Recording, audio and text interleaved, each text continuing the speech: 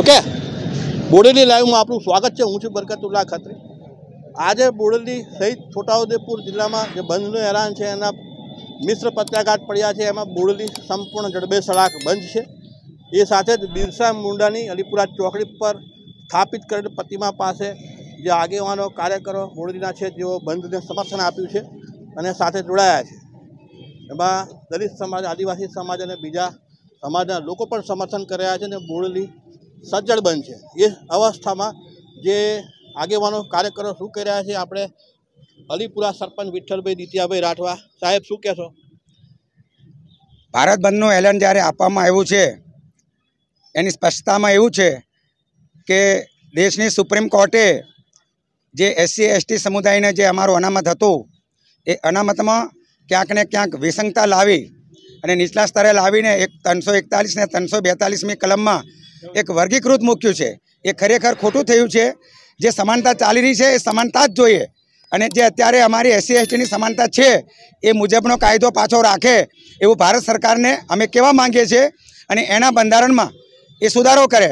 અને ફરી એ એમની સુપ્રીમમાં અને ફરી એ દેશની એસેમ્બલીમાં કે દેશની પાર્લામેન્ટમાં અને ફરી આ ખરડો પાછો સ્વીકારે એવી સમગ્ર ભારત દેશના એસસી એસટી સમુદાયની માંગ છે. અને એના માનમાં આજે બોરીલના તમામ સમુદાય અમને સપોર્ટ કરેલ છે અને બોરેલી બંધનું એલાન કરેલ છે જેને સંપૂર્ણ ટેકો જાહેર કરીને સંપૂર્ણ બંધ દેખાય છે. બસ આ તબક્કે સર્વ સમાજનો અમે આભાર માનીએ. જય જોહર જય ભીમ. આપણે લલિત લલિતચંદ્ર રોહિત આપણા આરએસએસના પ્રમુખ સાહેબ શું કહે આજે ભારત બંધના એલાનને સંપૂર્ણ ટેકો અને છોટાઉદેપુર જિલ્લાના તમામ તાલુકોમાં મોટા ભાગે બંધ રહ્યા છે. એ બદલ અમે બધાનો આભાર માનીએ છીએ. પરંતુ નામદાર સુપ્રીમ કોર્ટ દ્વારા જે તાજેતરની અંદર અનુસૂચિત જાતિ, જનજાતિની અંદર સંશોધનનો વિષય મૂકવામાં આવ્યો છે, એ વિષયની સામે સમગ્ર સમાજ આજે આદિવાસી અને દલિત સમાજ ભેગો થઈ અને ગુજરાત રાજ્ય મહાસંઘ અને વિવિધ સંગઠનો દ્વારા જ્યારે બંધનું એલાન આપવામાં આવ્યું છે, ત્યારે અમે પણ આ બંધના એલાનમાં જોડાયા છે અને અમારે માંગણી છે કે આવા સંશોધનો માટે ભારત સરકાર સંસદની અંદર જે કોઈ સંશોધનોનો વિષય મૂકવામાં આવ્યો છે સુપ્રીમ કોર્ટ દ્વારા, એને અટકાવતું એક એવું બિલ લાવે કે જેના કારણે જે બાબા સાહેબ આંબેડકર દ્વારા જે બંધારણની રૂએ અમને અનામત આપવામાં આવેલી હતી, એ અનામતને જે સ્થિતિમાં છે, એ સ્થિતિમાં રાખવા માટેની અમે માનનીય વડાપ્રધાન નરેન્દ્ર મોદી સાહેબ પાસે આ પણ આ તબક્કે અમે માંગણી કરીએ છીએ. થેન્ક યુ લલિતચંદ્ર રોહિત સાહેબ, આપણા વિશ્વ હિન્દુ પરિષદના કાર્યકર્તા દીપકભાઈને પણ વાત કરીએ સાહેબ, શું કહેતો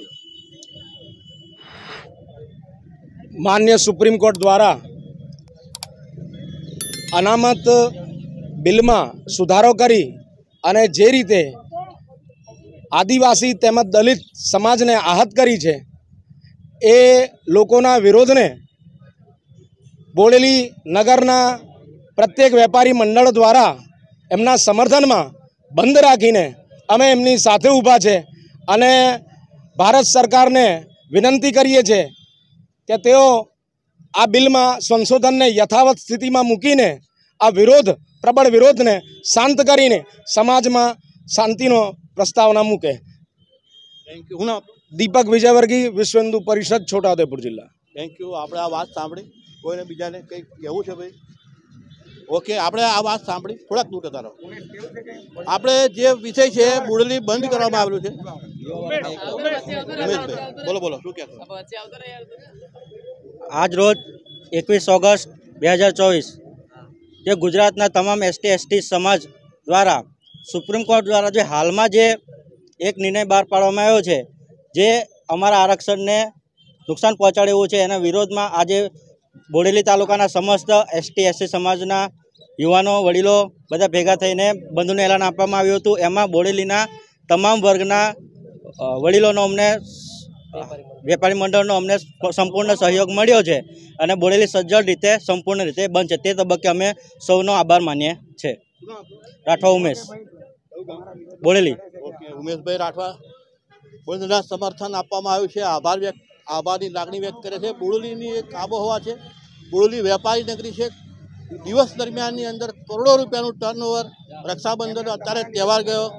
બોડલીની અંદર એવો સજ્જડ બંધ છે કે બોડલીના તમામ બજારો લારી, ગલ્લા, પથારા, પથારાવાળો રોજ કમાઈને રોજ ખાવાવાળો વર્ગ એ પણ આ બંધને સમર્થન કર્યું છે. ઐતિહાસિક બંધ છે અને આ દરમિયાનની અંદર જે અપીલ કરવા નીકળ્યા તે લોકો, તે આગેવાનો, એ આગેવાનોને પણ લોકોએ સાથ આપ્યો છે, સહકાર આપ્યો છે. આભારની લાગણી પૃષ્ઠભૂમિમાં અત્યારે એમની પ્રતિમામાં એના સાનિધ્યમાં આ વાત ચર્ચા કરી રહ્યા છે.